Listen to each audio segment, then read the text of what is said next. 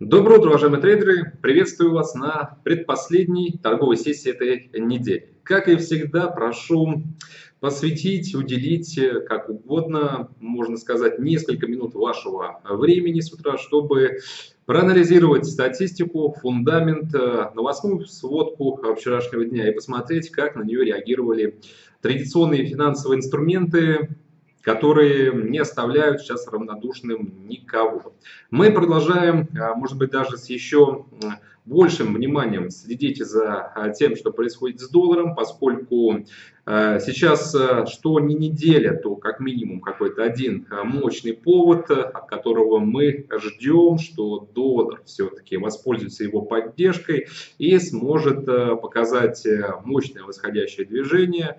И без этого восходящего движения мы, к сожалению, не сможем придерживаться прежних инвестиционных идей, потому что большая часть из них базируется, опять же, на том, что доллар должен показывать э, самый настоящий э, мужской характер и, э, соответственно, должен оказывать прессинг на всех своих конкурентов, которые присутствуют на рынке. Ну и потом, если у нас формируются условия для роста доллара, значит мы как минимум не ссылаемся на геополитическую напряженность, на природные катаклизмы, которые в последнее время вошли в такой привычный обиход э, собственно, нашей риторики и нашего обзора. Ну, что уж тут поделать, действительно, сейчас э, осенний сезон начался довольно-таки неприятно для американской экономики из-за бушующей Атлантики, которая просто обрушивать на восточное побережье ураган буквально за ураган.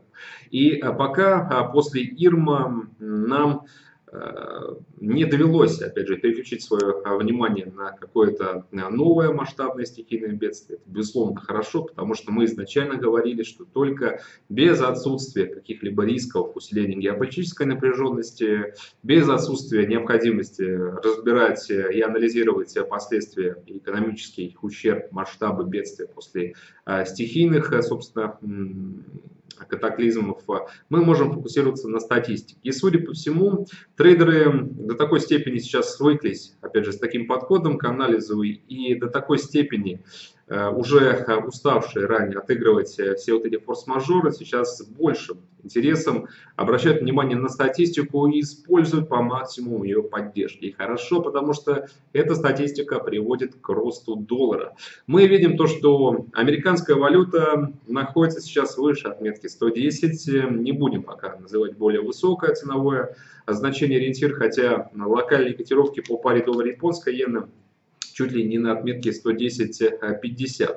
Американец закрепился в вашей планке, и э, это хороший сигнал, опять же, для дальнейших покупок, для нас, тех, кто, э, опять же, вовремя переключил свое внимание на то, что э, рынком будут править, опять же, ожидания повышения процентной ставки и более-менее сильные отчеты. Доллары сегодня остаются в центре внимания, а поскольку на повестке у нас 15.30 статистика по инфляции, о ней мы, собственно, поговорим. Но сначала давайте э, коснемся того, что происходит с нефтью. Клоус вчерашнего дня 55.11. Э, локальный хай был повыше по бренду 55.20. Сейчас мы видим планку 55 долларов за баррель. Э, явно сейчас покупатели действительно не хотят э, передавать инициативу а, медведям, э, пользуются пока что локальной поддержкой фундамента, используют тот позитив, который обсуждается на рынке с начала этой недели. Я надеюсь, друзья, то, что вы четко разграничиваете для себя те факторы, которые приводят к локальному укреплению нефти, и те факторы, которые более, скажем, а в объемлющем ключе, таким фундаментальным базисом находится внизу сейчас. То есть это основа этого информационного новостного айсберга. И верхушка вас не особо интересует. Вы э, знаете и понимаете, почему котировки нефти могут в любой момент показать э, снижение на серьезный ралли мы пока не рассчитываем, но то, что вот этот фундамент может постепенно корректировать котировки нефти, как минимум в районе 50, есть еще эти ожидания. Что касается вчерашнего дня, локальный интерес к бренду, к WTI был связан э, с публикацией докладов Международного энергетического агентства, а также выхода данных от администрации энергетической информации по э, запасам нефти, углеводородов, нефтепродуктов, бензина, дистиллятов и так далее. Это все статистика ровно в рамках э, одних торговых суток. Все началось с собственно, доклада от э, администрации аналитической информации. Я напоминаю то, что в соответствии с теми цифрами, которые мы видели, э, мы получаем подтверждение того, что ураган Харви, а не Ирма, который бушевал в Мексиканском заливе, действительно э, привел к определенным негативным последствиям для нефтяного бизнеса. И эти негативные последствия, опять же, связаны с изменением показателей переработки нефти. Мы с вами настраивались на то, что запасы будут расти. И, в принципе, еще на прошлой неделе э, эта же статистика указала на то, что прирост по запасам нефти уже был очевидным, и этот прирост э, сместил наше внимание с тренда по снижению запасов. Но на прошлой неделе рынок особо не отреагировал на эти цифры. Почему? Потому что все находились в таком шоковом состоянии, ведь э, буквально на повестке э, грядущих тогда выходных э, были вот эти обещанные всеми разрушительные последствия урагана Ирма. И мы на какой-то момент, скажем, какой-то период времени тоже поддались вот этим настроениям. Но я думаю, что это правильно, это было бы логично. Если мы продолжили бы сохранять принятие нейтралитета, либо абсолютную уверенность в том, что этот ураган, который уже был заявлен как э, самый разрушительный чуть ли не за всю историю эм, опять же, этих стихийных бедствий для а, США, э, было бы неправильно, если бы мы на него не среагировали так, как э, среагировали. В общем, по запасам нефти плюс 5,9 миллиона, между прочим, прогноз экспертов а, по оценке Global Platts а, предполагал то, что запасы могут а, вырасти еще сильнее, на 10 миллионов. До этого у нас была оценка Американского института нефти плюс 6 миллионов. При этом, друзья, хочу сразу сделать акцент на то, что переработка нефти снизилась примерно на 400 тысяч. Это минимальный показатель за последние 4,5 года. И как раз снижение переработки нефти, он априори создал условия, по которым растут запасы нефти. Но если нет аппетита на нефтянку, конечно же, приходится складировать, аккумулировать в хранилищах. Соответственно, если мы еще вспомним про показатели простоя ключевых производственных мощностей, то легко можем сразу же прийти к следующему выводу о том, что если нефтянка не потребляется, значит э, не растут запасы нефтепродуктов, таких как бензины. А если не растет, собственно, выработка, значит, с большим аппетитом выедаются те, что показатели и тот э, объем, который уже есть на внутреннем рынке за счет такого же внутреннего сброса. И мы, когда говорили про последствия урагана Харви, знали то, что и готовились к росту запасов нефти, и к параллельному снижению запасов э, бензина. И были правы, потому что в довершение статистики по запасам нефти у нас отчет по сокращению запасов бензина на 8,4 миллиона. Это исторический, э, рекордно низкий э, показатель еженедельного спада, э, который был зафиксирован за какое-либо время, за время накопления статистики. Вы про это тоже не забывайте. Конечно же, трейдеры не могли не отреагировать на этот отчет, на эти данные. Увидели мы локальный интерес к нефтянке. Ну, считается то, что еще больше вклад в эту позитивную динамику внес доклад Международного энергетического агентства, которые сделали вывод о том, что сам рынок а, восстанавливает конъюнктуру, баланс спроса и предложения и постепенно сокращает избыток. Это, это сокращение избытка происходит за счет а, очень высоких показателей спроса со стороны мировой экономики и снижения объемов добычи ключевыми производителями. Но здесь, друзья, я даже вот по цифрам по докладу Международного энергетического агентства производство, переизбыток нефти а, в прошлом месяце снизился на 720 тысяч, до 97,7, точнее мировое предложение.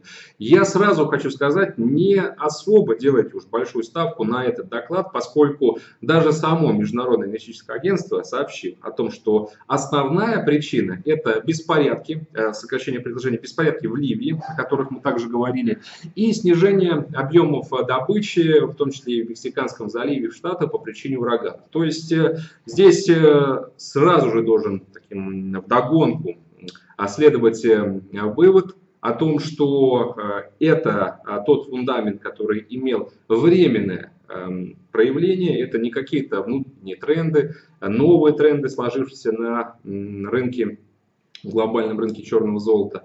Поэтому ситуация а, стабилизируется уже буквально в октябре. Мы с вами вернемся к тем же самым причинам, которые до этого а, выступали основными предпосылками для роста перепроизводства и а, перенасыщения всего рынка нефти. Поэтому актуальными остаются продажи. Я надеюсь, то, что вы э, сохраняете также короткие позиции, как я рекомендую. Это мой субъективный, мое субъективное мнение, мой субъективный взгляд, но полагаю, что э, тот фундамент, который мы с вами анализируем, он все-таки дает возможности торговать именно в таком направлении. Рубль постепенно движется к 58, и это при том, что э, растет нефть. Я думаю, что если нефтянка до конца этой недели, сегодня, завтра, к примеру, все-таки прольется на процент другой, это вполне э, возможно, хотя, может быть, даже чрезмерное ожидание. Ну, рынок и без того весьма волатильный. Рубль может легко закрыть эту неделю даже выше отметки 58. Ориентируемся сейчас на этот уровень как минимум, ну и ждем, конечно же, еще более а, мощная девальвация российского валютного актива.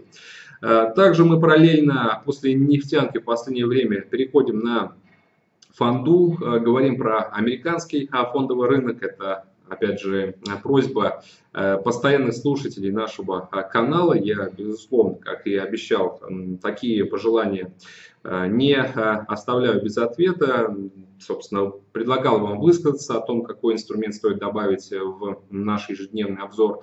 Большое спасибо тем, кто это сделал. И вот стараюсь периодически разбавлять наш с вами прогноз и анализом ситуации по фундаменту на рынке криптовалют. И делаю большую ставку сейчас на индекс S&P. В частности, из последних новостей, друзья, что можно отметить? Ну, не хочу сейчас снова вдаваться в подробности, и, на самом деле, тот же самый фундамент, который двигал американской фондовой секции в последние торговые э, сессии, если интересует, ну, это, в принципе, то же самое. Это э, склонность инвесторов к риску, поскольку снизились, э, опять же, Э, снизился негативный фон а по поводу эскалации напряженности вокруг Северной Кореи. Мы больше не обсуждаем в негативном ключе последствия ураганов и, наконец-таки, получили неплохой импульс для э, роста этой секции в виде, э, собственно, Э, предположений о возможной реализации налоговой реформы. Я вот сейчас э, про это чуть подробнее поговорю. Ну, э, что в отношении американского фондового рынка хочется отметить.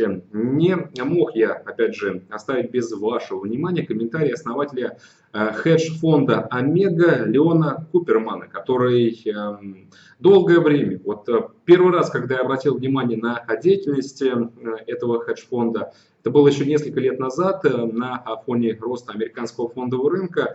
Опять же, Куперман делал очень большую ставку на то, что ралли оно будет продолжено, и американский фондовый рынок, в частности э, S&P, как ключевая бенчмарка, легко сможет э, добраться там до уровня 2300-2400. Сейчас мы видим то, что эти прогнозы э, были абсолютно оправданы, потому что текущие котировки по S&P находятся гораздо выше. В частности, чтобы быть совсем точным, 2491 пункт и новый исторический максимум от уже грядет. И на протяжении э, всех вот этих лет э, Куперман, в принципе, давал только одни рекомендации, которые предполагали покупку американского фондового рынка. Сейчас э, его анализ э, просто радиально изменился, и главная рекомендация это продавать американский фондовый рынок, э, поскольку грядет серьезная коррекция от 5 до 8%, эта коррекция может начаться не то чтобы в любой день, в любую секунду, и спровоцировать ее может и снова там,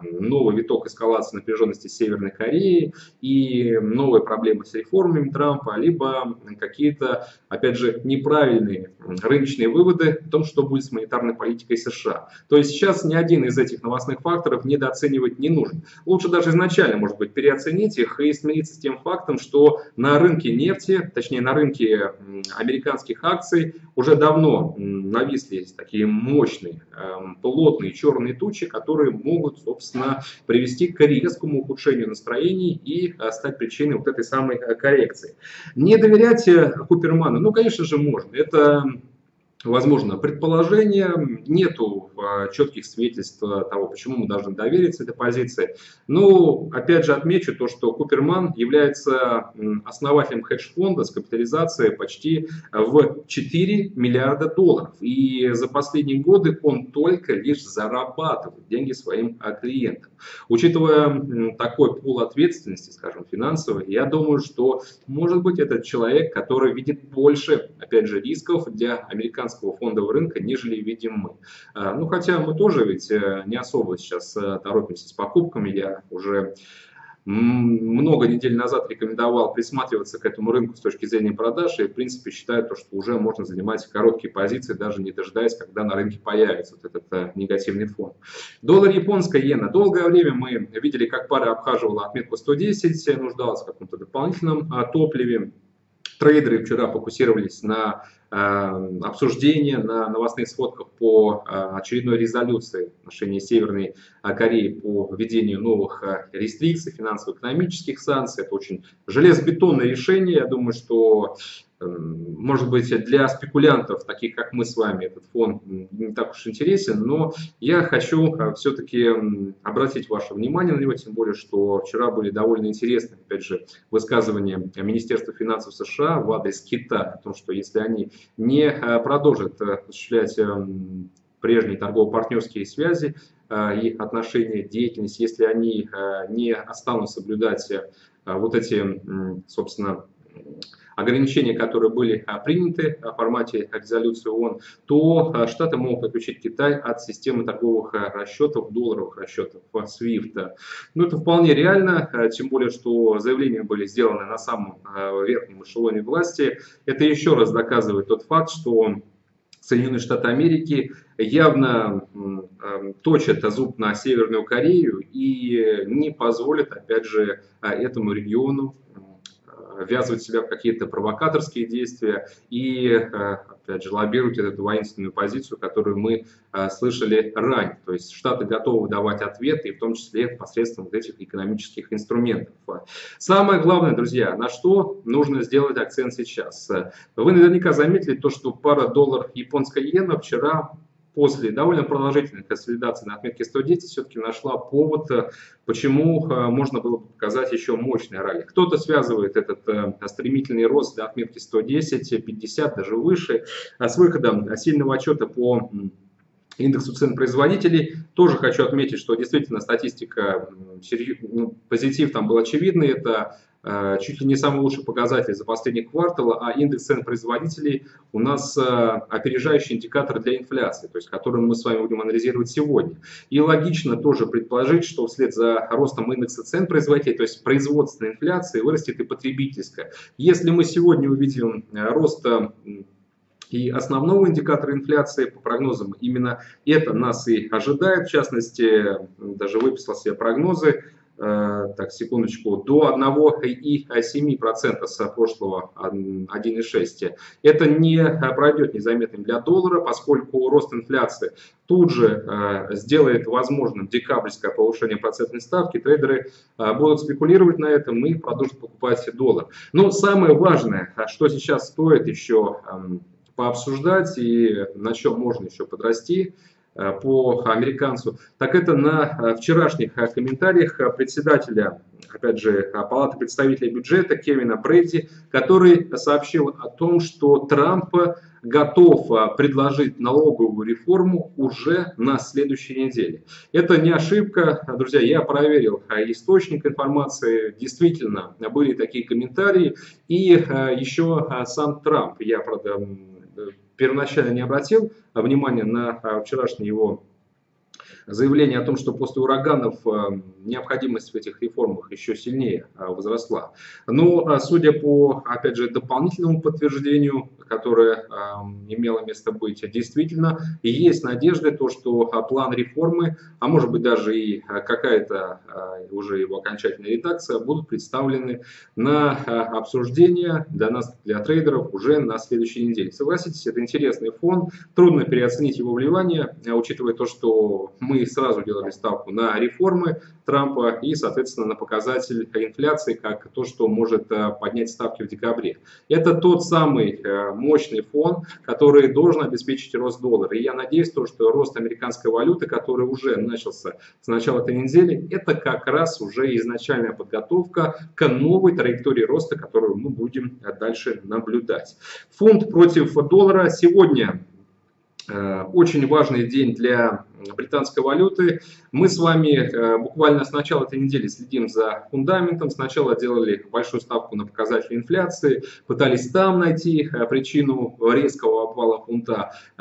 Собственно, данные по инфляции во вторник нас не вдохновили, не позволили нам заработать, потому что вместо того, чтобы обвалиться даже на фоне роста индекса потребительских цен до 2,9%, фунт вырос и оказался выше отметки 1,33. Но вчера ситуация изменилась, поскольку вышли данные по эм, заработным платам, и эта статистика указала на то, что заработные платы на фоне роста эм, инфляции э, продолжают э, снижаться. Я думаю, друзья, вы сразу же сделали правильный вывод после публикации этих отчетов, этой статистики, и эти выводы позволили вам, если вы ранее не торговали, а занять короткую позицию и уже неплохо заработать на фунте. Британец э, с отметки выше, чем 1.33 с небольшим, провалился до уровня 1.32, сейчас находится на отметке 1.32 э, практически 20. Может быть, опять же, фон сегодняшнего дня, а именно заседание Банка Англии, решение по выкупу активов, процентной ставки, Э, собственно, протокола последнего заседания. Это тот фундамент, который э, сделает акцент на э, неготовность регулятора повышать процентные ставки. Поскольку, как я уже отмечал, неоднократно заявлял, на фоне отрицательного роста заработных плат с учетом столь высоких показателей по инфляции, Банк Англии вряд ли пойдет на сознательное повышение стоимости заимствований и уровня обслуживания Э, долга домохозяйств. Это будет абсолютно неправильно. Поэтому Банк Англии продолжает действовать в условиях крайне низкого экономического роста, в условиях э, политической неопределенности и теперь уже в условиях эм, зашкаливающей инфляции, которая, скорее всего, в следующем месяце уйдет даже за пределы 3%, инфляции, которая опережает динамику роста заработных плат и оказывает влияние на потребительскую активность, она снижается. Поэтому статистика нам способствует, опять же, э, в пользу того, чтобы мы держали короткие позиции и верили в то, что пара фунт доллар сможет э, оказаться очень скоро, чуть ли не в ближайшие дни, снова в районе поддержки 1.30. В понедельник на следующей неделе стартует э, уже пятый, по-моему, этап переговоров по Брекзиту. Тоже будем держать вас в курсе. Будем следить, ну и традиционно ищем негатив и в этом фундаменте. По австралийцу еще хотел сказать. Сегодня утром вышли данные по рынку труда. Уровень занятости 54 и 2 с прошлого показателя 29 тысяч тысяч, то есть эм, лучше, чем ожидалось. Уровень безработицы 5,6%. Э, эта статистика локально привела к росту австралийца, но был еще и компенсирующий фон в виде очень слабых данных по Китаю. Розничные продажи снизились до 10,1% с прошлого 10,4%. И, что страшнее еще, промышленное производство, друзья, просело на 0,4% до 6%. Я думаю, то, что при такой статистике а, Китаю нужно будет побороться, чтобы вообще удержаться за экономический рост в 6%. Поскольку Австралия это стратегический партнер для Китая а, и наоборот, собственно, Австралия и Новая Зеландия активно реагируют на а, статистику который публикуется по Поднебесной, мы видим сейчас прессинг как на австралийцев, так и новозеландцев. Ну и помимо этого вы помните еще о причинах, связанных с национальными монетарными политиками, почему и австралийцы, и новозеландцам нужно продавать и дальше. Биткоин у нас э, продолжает снижаться, 3800 э, с небольшим мы сейчас видим долларов за одну единицу криптовалюты дают, но негативный тренд, э, видимо, сохранится и дальше, потому что мы с вами уже определились, что для того, чтобы у биткоина появились предпосылки для роста, нужно, чтобы как минимум э, сопоставимый позитивный фундамент э, появился на рынке, который смог бы компенсировать негативный фон, связанный с ограничительными мерами Китая, которые наложили тотальный запрет на все операции ICO и все операции, которые осуществляются в биткоине биткоинах, эфирах и самых популярных криптовалютах разгоняются, собственно, под эти публичные размещения токенов.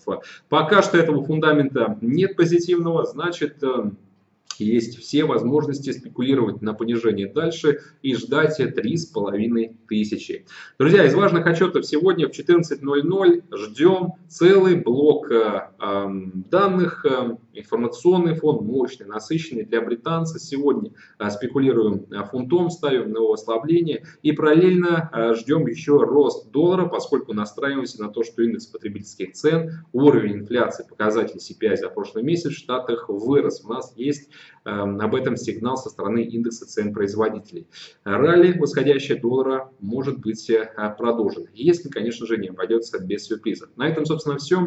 Огромное всем спасибо за внимание. Не забывайте оставлять ваши вопросы, комментарии на канале на YouTube. Ну и также не забывайте ставить э, лайки, за которые всем, кто их ставит, огромное спасибо. Всего доброго вам, до свидания.